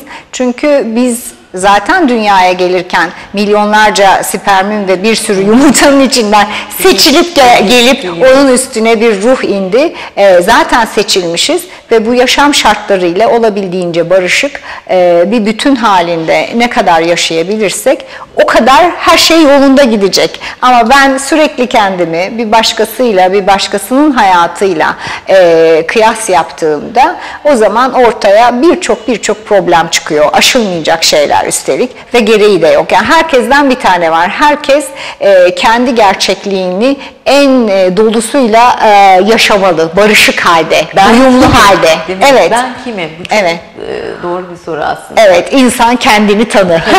İnsanın kendini tanımasıyla başlıyor aslında. Öyle. E, bunları keşke hmm, eğitim sisteminde bu perspektifle ta çocukluktan itibaren bakılabilse. Yani ben onun için e, uzak doğudaki e, kültüre de e, çok saygı duyuyorum. Orada birazcık daha ki- kişinin kendi farkındalığına yönelik, fizik bedeniyle e, evrenin ve doğanın uyumuna yönelik e, çalışmalar çok erken yaşta başlıyor. İşte tai chi'ler, qigong'lar vesaire. Bu bütün e, dünya ve evrenle, e, yaratılmışlıkla e, kendi aramızdaki mesafeyi kapatan şeyler bunlar. Fiziksel güçle e, ilahi gücün, var olan bütün bir potansiyelin e, bilincinde olarak çocuk büyüyor. Şimdi o bilinçle yapılan bir boksla herhangi bir boks ya da o bilinçle yapılan bir ne diyeyim futbolla herhangi bir futbolun aynı olması mümkün, Mümkün değil. değil. Yaşam enerjisinin var olan enerjiyi kullanarak yapılan bir e, her şey bir sanat olabilir, e, oyun olabilir, iş olabilir, e, spor olabilir. Bambaşka olur. Yani kendinden kopmamış oluyor insan. İşte bugün e, bağımlılıklara gelecek olursak bakıyorum çok azalmakla birlikte hala çok sigara içen insan var. Evet. A- alkol ve uyuşturucu var ama onlardan da öne, en önemlisi benim bahsetmek istediğim yeme bağımlılığı var. Şimdi ben bazen bakıyorum anneler çok zarif, incecikler vesaire ke- kendilerine dikkat ediyorlar. Yanlarındaki çocukları yürüyemiyor bile. Evet. Şişmanlıktan. Mutsuz her şeyden önemlisi. Hani sırf şişman olmak bir hastalık ya da problem değil. O çocuklar mutsuz en önemlisi o. Sürekli ellerinde bir şey var ama öfke dolular, nefret dolular. Neden? Aslında yemek e, sevgidir. Yani o sevgiyi alamadıkları için sürekli ağızlarına bir şeyler tıkıştırıyorlar. Lütfen bunun bilincinde olalım. Yani e, kaç yaşında olursak olalım 7'den 77'ye bu sevgi alışverişine ihtiyacımız var. Ve e, bu bütünlükle yaşadığımız zaman gerçek sağlık, gerçek mutluluk, gerçek huzur, barış vesaire hem kendi hayatımızda hem aile hem sosyal çevrede hem de Türkiye ve dünya olarak bunu sağlayabiliriz. E, ne kadar ötekileştirirsek ve e, sevgi alıp vermeyi reddedersek e, bütün bu o, bütünlük ve var olmuş hissi ve desteklenmenin e, önünü kapatmış oluyoruz. İster istemez Yardımlaşmanın. yaşayanlar özellikle bizler gibi insanlar, yoğun temposu olan insanların e, zamanla bir yarışı var sanki. Evet. Bu da ister istemez ne kadar olursa olsun işte bir anne olarak gün içerisinde kendimi sorguladığım çok konu olabiliyor. Ya annenin kendini sorgulaması da çok iyi bir şey değil aslında. İyi. Yani çünkü e, Soru her gittiği zaman iyidir. e, çocuğuna yeterli acaba gerçekten ilgi gösterebiliyor muyum? E, ona istediği şekilde yaklaşabiliyor muyum? Çünkü bir çocuk eve geldiği zaman tabii kapının bir annenin açması için. Tabii. Bizler öyle yetiştik. Evet. Kapımızı açan bir annelerimiz vardı. E, o sevgiyle büyüdük. Ama bu dönemdeki çocuklarda o çok fazla olmuyor. Yuvalarda yetişiyorlar, kreşlerde büyüyorlar. E, bir yeme alışkanlıkları dahi oturmamış durumda. E, hatta son dönemlerde bir e, danışanımız e, aramıştı. Çölyak hastası olmuş çocuğu. E, 14 yaşında. Bu nasıl Tabii genetik gıda- bir şey gıda duyarlılığı. İşte gıda, bu nedir çölyak hastalığı? Bi- Biraz önce bahsetmiştim. Ee, e, un ve e, unlu mamullerin içerisinde bulunan e, bir takım proteinlere e, alerji e, ortaya çıkması. Şimdi e, genetikle oynandığı için çok arttı ne yazık ki e, unlu gıdalar ve piyasada çok çeşitli buğday var. Çok çeşitli kromozomlu buğday olunca onların e, duyarlılıkları da çeşit çeşit. Başa çıkmak gerçekten zor. Onun için e, bir deminden beri anlattığım bütünsel bakmak lazım. Mutlaka işin önce psikolojisine gideceğiz. Evet bir zaman e, unlu gıdadan uzak e, tutacağız e, hastalanan kişiyi ama mutlaka bu duyarlanmanın arkasındaki e, şeyleri çözmek lazım. E, mutlaka e, iletişimi e, kurmak lazım. E, bu o, anne ile çocuk ya da belki bakıcısı, belki okul arkadaşları, bu kızgınlık, öfke duyguları, dedim ya agresyon yani saldırganlık hissinin bastırılmasıdır. Bunları belki bir takım sanat faaliyetleriyle spor yaparak e, çocuğun kızmak yerine e, gerçek bir iletişimi, kendini ifade etmesini, oyunla, sevgiyle e, ailede ve okulda e, bir, bir arada olmasını destekleyerek bu, bunun dışında bir çözümü yok bu işlerin. Yoksa işte e, çölyak hastalığı var. İşin sonu kortizon steroid kullanmaya kadar gidiyor. O da vücudu şokluyor açıkçası. E, kalıcı e, tedavi e, açıkçası çok mümkün olmuyor. Ama bu arka plandaki sebepleri bir bir temizlediğimizde hiçbir şey olmamış gibi tamamen geçebiliyor hastalık. Çok güzel. Şimdi şöyle o zaman ben özetlemek istiyorum. Benim algıladığım kadarıyla işte ben hastayım, çölyak hastasıyım. Ee, normal bir e, doktora gittiğim zaman ve hastaneye gittiğim zaman herhalde kortizon tedavisi oluyor. Evet, kortizon ya da buna benzeyen başka bir antiinflamatuar ilaçlar var. Ee, onların tedavilerine bakılıyor. Hastalık ilerlediği zaman Allah korusun kanser vesaire gibi, lenfoma gibi şeylere de sebep oluyor.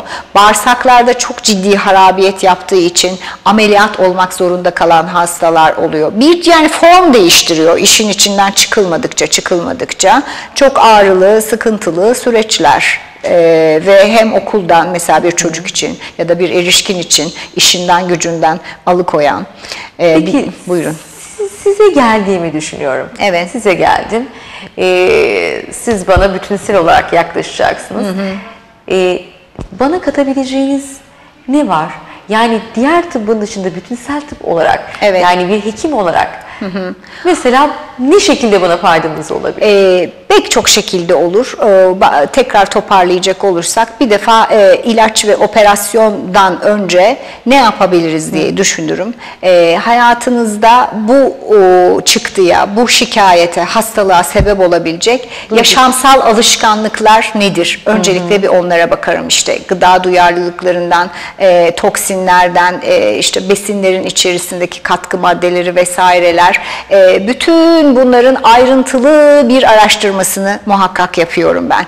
E, psikolojiyle ilgili e, çok ciddi araştırma yapıyorum. Hatta öyle ki sadece bugün diyelim ki sizin e, bir erişkin olarak eşinizle ya da partnerinizle olan, çocuğunuzla olan ilişkiniz değil, ilk 7 yıldaki anne babayla olan psikolojik bağınız onlar çünkü hala e, bizim psikolojimizde devam ediyor ve hala dişil eril enerji, erkek ve kadın enerjisi olarak ölmüş olsalar dahi, hiç biz görmemiş olsak dahi bizde devam ediyorlar. Bu bu varlıklarıyla, onların varlıklarıyla olan bizim e, duygusal durumumuz nedir? Kızgın mıyız, öfkeli miyiz, reddettik mi? Ölen insanlara bazen kızıyoruz bizi terk ettikleri için çocukluk psikolojisiyle.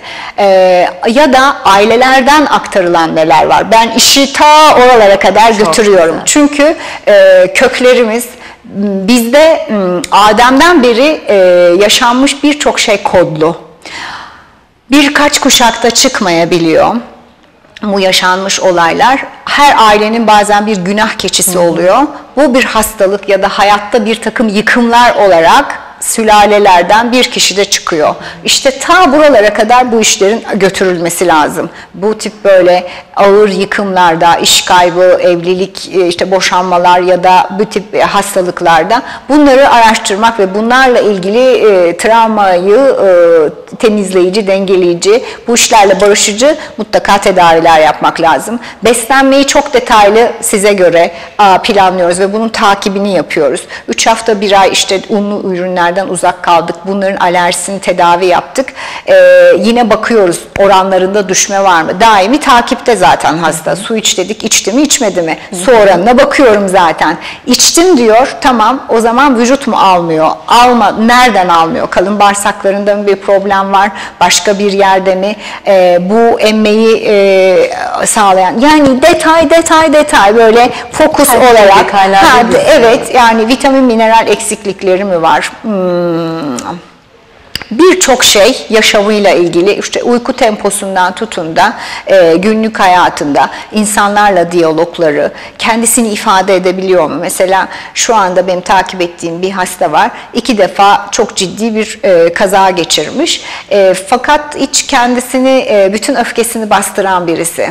Kızgınlıklarını hiç söylemiyor. Ne olursa olsun evet peki buyurun şeklinde söylüyor. E, o zaman bu bastırılmış şeyler bir gün e, büyük bir e, şey olarak ona geri dönüyor. Çünkü dedim ya biz sadece almıyoruz veriyoruz da dünyaya. Şimdi siz bu kadar kızgınlığı öfkeyi bastırdığınız zaman o, o frekansta yayın yapıyorsunuz. Sizin nasıl bu televizyon kanalının bir frekansı var değil mi uydudan yayın yapan. E şimdi ben öfke frekansında yayın yapıyorsam ister istemez buradan çıkınca ya herkesle kavga ederim ya trafik kazası geçiririm. Bu, bu, bu yoğun enerjiyi ben vereceğim dünyaya. Onun da karşılığı muhakkak tezahür edecek. Ama biz çok yoğun bir sevgi enerjisi aldığımız şu an. Özetle e, bu bu detaylı çalışmalarla iz sürerek hani bir dedektif titizliğiyle bu hastalık niçin ortaya çıktı?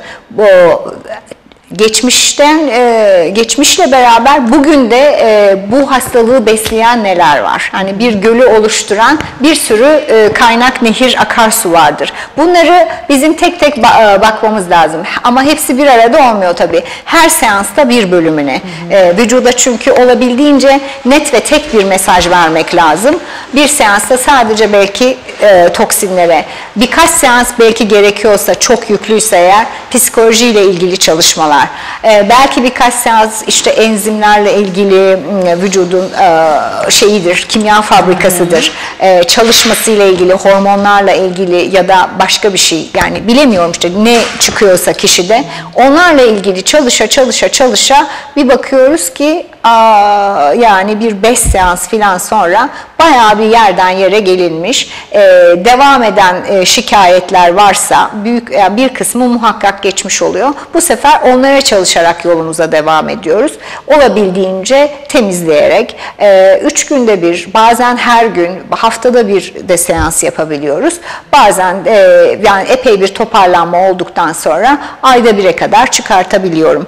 Çok uzun yıllardır gelmiş bir hastalığı genelde ben 3 haftada bir, ayda bir tedavi yapıyorum. Ama e, yeni çıkmış bir şeyse daha sık tedavi yapmaya çalışıyorum. Her şeyi kişiye göre ayarlayarak, onun bize gösterdiği ipuçlarından hareket ederek, oturup düşünüp, beş bilinmeyenli denklem çözer gibi kafayı patlatıp, bazen ben işte genelde bir, bir buçuk saate yakın sürüyor e, hastalarla çalışmam. E, Akşam eve gittiğimde mutlaka bir sakinlerim. Acaba başka ne yapabilirim diye sorarım. Bir dahaki seansta şunları şunları da bu veriler ışığında yapayım diye şöyle bir not düşerim kafama. Böyle e, birebir e, detaylı çalışmak lazım. Öbür türlüsü çok kolay. Hani işte ilaç ver, e, baskılansın ama, Ama çözüm değil. kısa süreli belki e, şikayeti, ağrıyı, sancıyı vesaire iltihabı kesiyor ama e, arka plan durduğu için bir gün bir başka yerden tekrar patlıyor bu iş. Demin de söylediğim gibi aslında duygu durumu burada çok önemli. Çok. Çok çok önemli. İşte Doğu bunu çözdüğü için zaten öbürlerine bakıyoruz ya dünyanın en uzun yaşayan insanı hep uzak doğudan çıkıyor. Tabii. Neden acaba? E, mutlaka fiziksel egzersiz yapıyorlar. Ben işte bu eğitimlere gidip gelirken yurt dışında havaalanlarında herkes sinirli, stresli oturur. Bir bakarım e, işte orta yaşı geçmiş insanlar bir arada e, tai chi vesaire yapıyorlar. Büyük bir huzur ve sükunet içinde. Havaalanının ortamında bile. Yani tabii müthiş takdir ederim açıkçası. E, bir de tabii e, sadece işte dediğim gibi hiçbir şey tek bir e, hareketle olmuyor. E, mutlaka beslenmelerinde mesela unlu gıda yok onların besinlerinde çoğunlukla. E, akşam gün battıktan sonra çoğunlukla çok yemek yemiyorlar. İşte çay içmek bence e, mühim bir şey. E, bir de hayatı algılayış, disiplin, e, kendiyle farkındalık, barışıklık olabildiğince.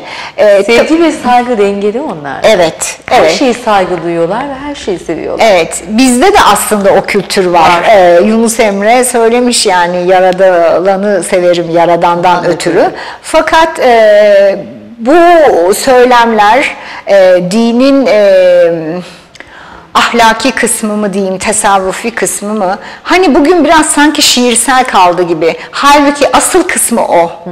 Yani orada e, şekli kısmı daha kolay şekilden ziyade içeriği doldurmak için uç ucuna insanın kendine hakim olması. Neredeyim, ne yapıyorum, ne konuşuyorum, ne düşünüyorum.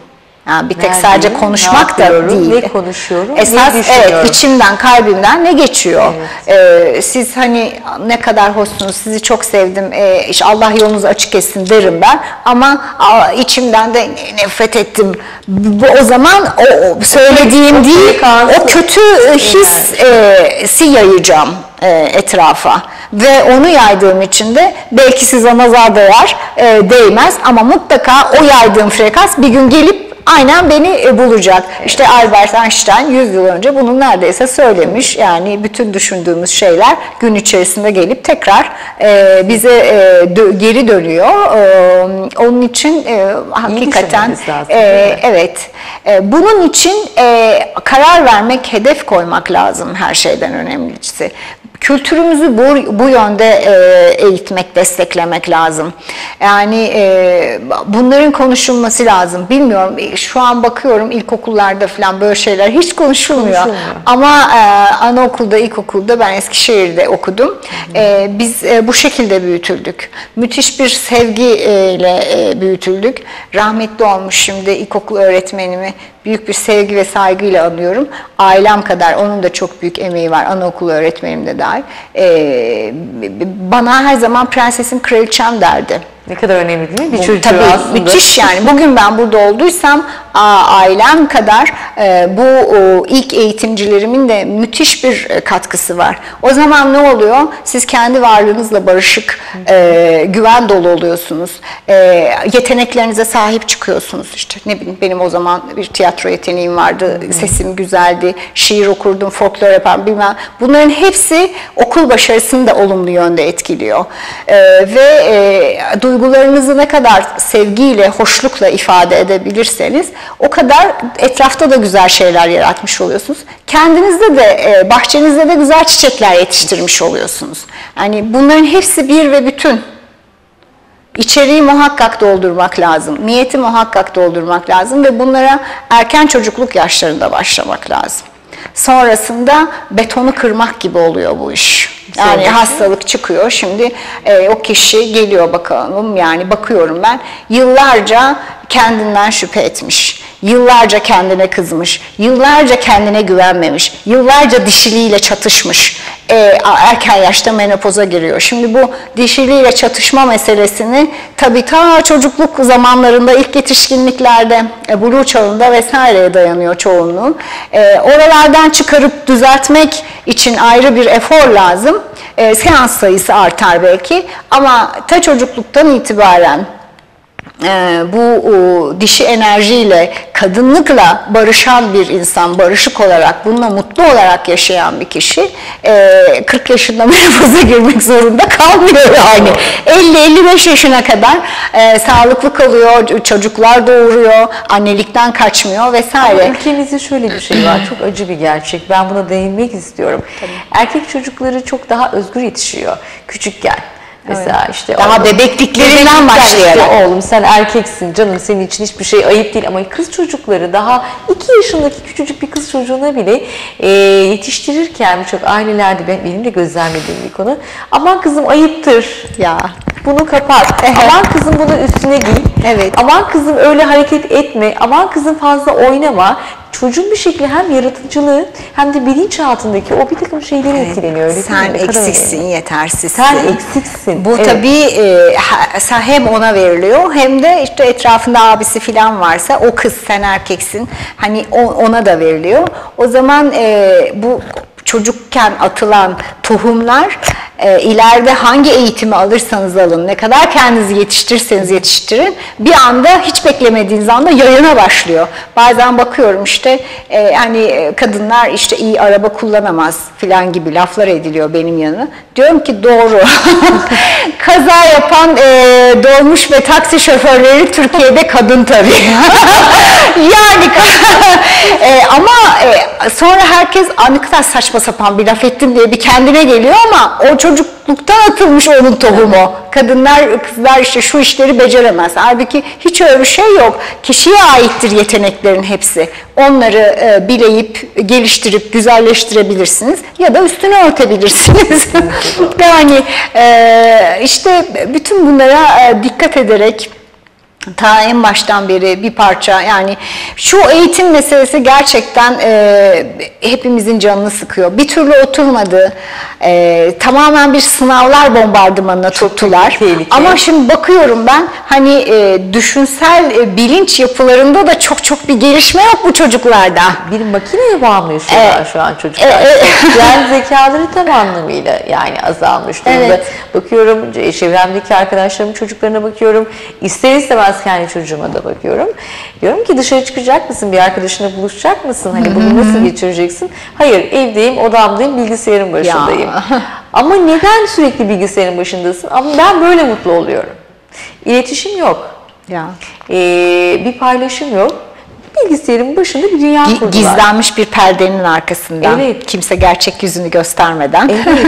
Herkes bir farklı bir Ben, ben, ben buyum demeye e, cesareti yok kimsenin. Halbuki hepimiz olduğumuz halimizde biriciyiz ve e, bir e, toplumsal hani bir puzzle yani bir ormanın e, şeyinde hani bir sadece aslanın varlığı, sadece maymunun varlığı düşünülebilir mi? Ha, bugün e, e, tavuklar gitti, bütün keneler e, çoğaldı. Evet. Yani doğada müthiş bir denge var. Bizim de bireysel olarak bu dünyaya biricik katkımız var. Tuvalet temizliyorsak en iyisini yapmamız lazım.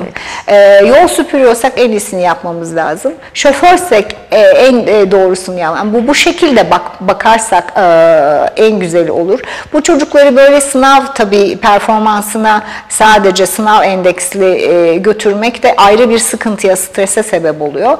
E, ben kişisel olarak bu bu tip böyle kaygılarda kilitleniyor bazen çocuklar. E, yetenekleri örtülüyor.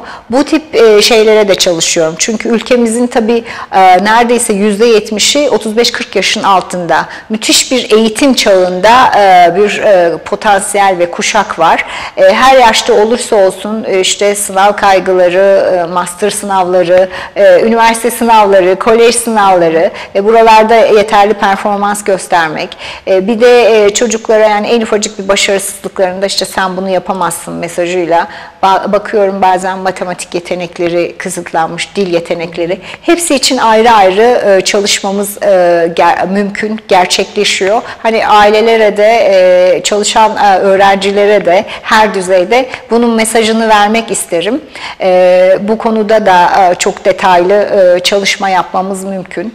Dil yeteneği, matematik yeteneği, genel olarak bütün öğrenme, hafıza desteği. Ah. Bunu hem yaşlılarda hani demans ve Alzheimer günümüzde e, çok yaygınlaştı. Bunlar için de kullanabiliyoruz. Aynı zamanda e, bütün bu e, kapasiteyi arttırmak, e, konsantrasyonu ve dikkati arttırmak konusunda da e, birkaç seans gibi kısa bir zamanda stres yönetimi konusunda e, başarılı e, çıktılarımız, e, tedavilerimiz, e, çalışmalarımız var. Peki Bunu da söylemek isterim. size nasıl ulaşabilirler? Yani bu komplike, bu Evet. güzel bu enerji nasıl ulaşabilirler? E, telefon numaralarını e, verebiliriz. Tabii ki. E, e, 0850 850 50 numarasından e, ulaşabilirler e, mesai saatleri içinde. E, cumartesileri de çalışıyorum ben. E, istedikleri zaman arayabilirler. E, her türlü yardımı her zaman yapmaya açığız. Hazırız. Çok güzel. Peki şöyle durumla hiç karşılaşabiliyor musunuz? Yani e, gerçek anlamda sizden destek almaya gelen bir anne çocuğu için geliyor ama çocuk çok kapalı. Evet. İstemiyor. Evet. E, Böyle bir durumda nasıl yaklaşabiliyorsunuz? Ee, bir defa ne iş yaptığımı anlatıyorum onlara. Tabii ki e, ilgilerini ve dikkatlerini e, çekici oluyor ama e, diyelim ki çocuk sigara içiyor ya da uyuşturucu bağımlısı ya da e, bir takım başka durumlar var. O onları bırakmak niyetinde değil. O değişmek niyetinde değil. Anne mesela başarılı olsun sınavlarda istiyor ama onun aklı şu anda erkek arkadaşında, sınavda vesaire de değil. Evet.